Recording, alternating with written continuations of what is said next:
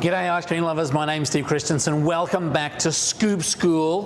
Lovely to have you here. Got the whiteboard out. Mixed feelings on the whiteboard. Some people love it, some people hate it.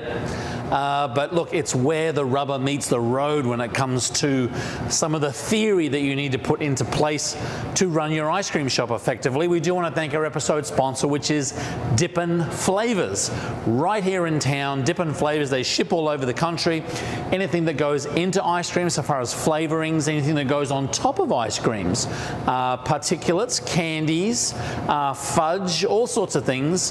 Dippinflavors.com. The link is right down here below. Click on it Tell them that Steve said hello when you talk to uh, Jimmy or Ryan or any of the crew there at Dippin. We thank them for their episode sponsorship. Now, this is the ideal way for you to do inventory. In Australia, we call it stock take. And it's interesting that we call it stock take considering that we come from a nation of convicts. We take stock.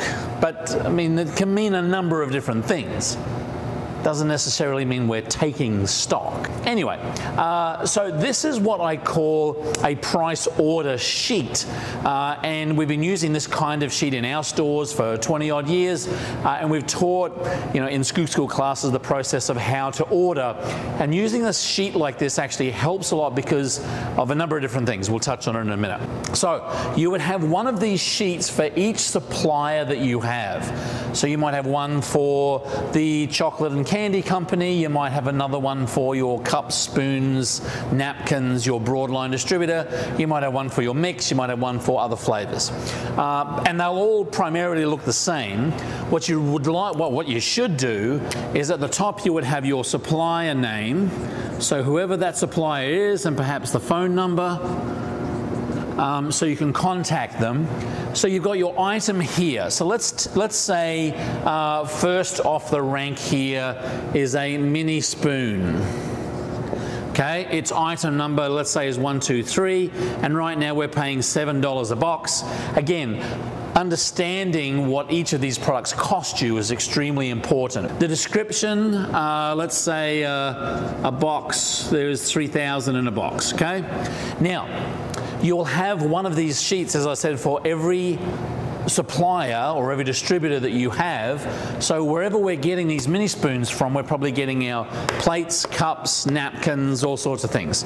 You might have a lot of different things down here, different lines. What you'll want to do here is once you've got all of your inventory and your basically the bits and pieces that you get from the supplier, you'll want to have at the end of this sheet what we call a number. I say par, you say par. It's also called a build to number. Build to. And it's basically the number of these items that you should keep in inventory. So you talk to the supplier, uh, supplier and say, look, you know, as, as, a general rule, how many of these boxes should I have in inventory? They might say, uh, keep four in inventory. So we're going to write a four in here.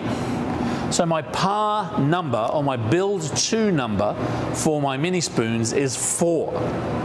Now, this is every Monday. Let's say you're doing inventory every Monday. You generally do it when it's a quieter day, Monday or Tuesday. So this is Monday number one, Monday number two. Each of these lines is every week's order. So what you'll do here is have a look and each of these boxes have a slash through the middle. Uh, the top one is your inventory. The bottom one is your order. So what you're going to order. So for example, if I've got, and I'll just rub these out. So if I've got um, my build to number is four, and I go through my inventory or all of the things I have in stock on Monday and see that I have only one in inventory, I need to build to four, so my order number is three. If the next product I had built to number was 10 of them, I need to have 10 containers of this, and the, or, the inventory was seven, I would have to order three again. And again, if the next product I have, whatever it is, was seven, and I only have one in inventory, I need to order six. And you'll go basically down, and you'll basically go down the list all of the things that you order from this particular supplier, look at what the recommendation is, your PAR number, your build to number look at what you have in inventory, go through that process of calling them up and saying, hey, uh, supplier, I need one uh, of my mini spoons, I need seven plates, I need one, and go through that whole process. Now, there's a number of reasons why this is important to do, um, and I know a lot of people out in the food service industry, in a lot of businesses, do their inventory at the end of the month. At the end of the month, it's impossible for you to detect any kind of loss or any kind of abnormality in the, in the process of what you have and what you don't have. So I know as I go down each of these lines, the next Monday, the next Monday, the next Monday, I can see trends appearing as to why did we have four boxes of frozen cookies and then all of a sudden we went down to one? And we don't go through a whole lot of cookies. Now, if that was happening at the end of the month, it would be very hard to kind of narrow down as to, well, who was working what shift and when did these items go missing. Uh, but if you do it weekly, um, the, uh, the, the, process of kind of fine tuning or narrowing down on inventory that might be going missing or stolen or whatever, not being delivered correctly, uh, is really important. So, this is what we call a price order sheet. There's a, a, ch a chart at our Scoop School toolbox. If you go to scoopschool.online, uh, we have a toolbox there full of forms. It's one of them.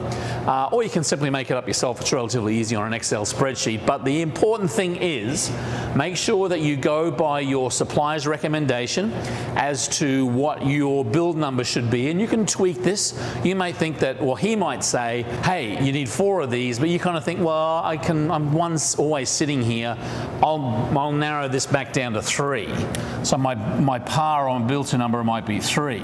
You might want to increase it depending on how busy you get. The nice thing is you're building to a number, you're doing this every week, you're looking for trends, you can see them much more regularly than you can at the end of the month, and it also helps you keep an idea of where the price is fluctuating. If the invoice shows up and it's now $7.20, Good to make a point of that. Plastic's going up, petroleum's going up, maybe our food cost needs to be tweaked a little bit. So this allows you to be able to work with the numbers, looking at trends, looking at price influctions and so forth.